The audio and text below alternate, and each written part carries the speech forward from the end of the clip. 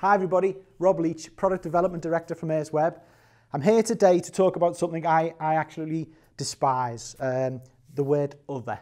Uh, to anyone who's interested in data or analytics, the word other should never be an option in your system. So let me just say why our, our little whiteboard session today is about the easy way out using other.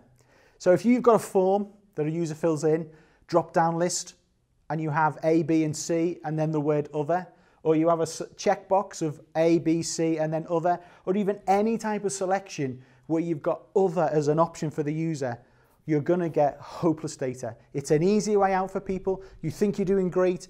It's the worst thing you can do. Put some more thought into A, B, and C.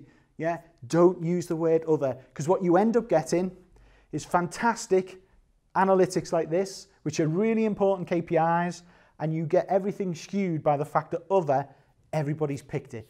Because they do. That's what they'll pick. They're not sure, they'll pick other. Now, there is a light at the end of the tunnel if there's no way you can get rid of other. If you've searched every combination of options and you still think you need the user to pick other to, to maybe carry on entering the form, the only way to do that is to put a solution in place. So the solution for me would be put a gatekeeper function in. Now, with Ava, what you can do is you could say other is an option, but if anybody picks other from a drop-down list, a further field appears and says, hang on a minute, Rob, if you're picking other, I'd like to know why.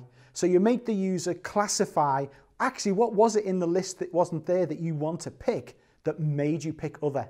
So maybe it's just, I've got A, B or C, I really wanted to put F in, it's not there. You let them pick other, a mandatory fields appears and said, well, tell me, Rob, what did you want? And I might pick, well, I wanted to pick F. What it'll do then is it'll email your administrator and say, uh, just let my administrator know, Rob Leech has, has, has clicked other in this form in record 55, really wanted F in there. That was his choice. The administrator then might go, you know what, that's a good idea. Update the lists, uh, recategorize it to F, and your data is clean.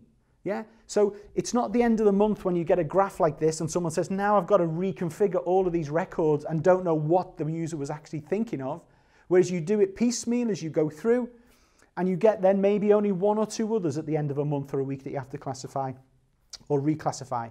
So other is the devil, I'll be blunt. You should always not keep away from other. It's not the easy way out. It creates garbage analytics. But if you must have it, put some rules around it. And hopefully your solution, like Ava, it's very easy to create some rules to say, if you're picking other, I'm going to hold your hand and make you tell me why and then the administrator can update the records. Anyway, that's my rant over from Other.